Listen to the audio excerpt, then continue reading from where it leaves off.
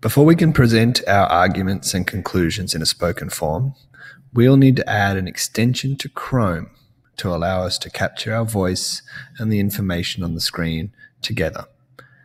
To do this, we need to add the Screencastify extension. And this is an extension for Google Chrome.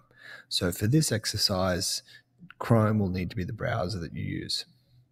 The first step is to click the Apps button in the top left corner of the screen.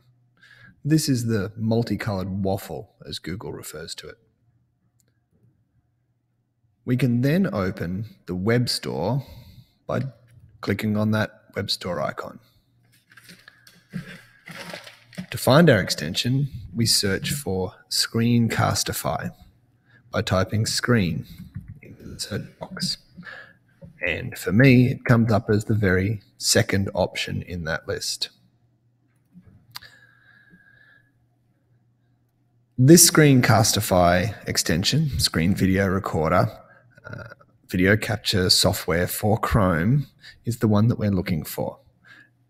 Where I already have the extension, my button's green rather than blue, but you can choose to add to Chrome.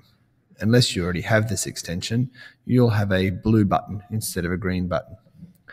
Once you have the extension, there'll be an icon to the right of the address bar, address bar, and to the right of that address bar, there will be an icon that looks like a piece of film.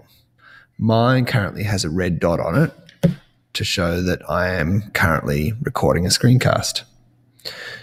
Your next step will be to play with this tool to discover its capabilities. You can capture the entire desktop, just as I'm doing right now, or you can capture just one tab, including the ability to uh, highlight and annotate and uh, draw on whatever screen that you currently have open on that tab. And I'll demonstrate that next.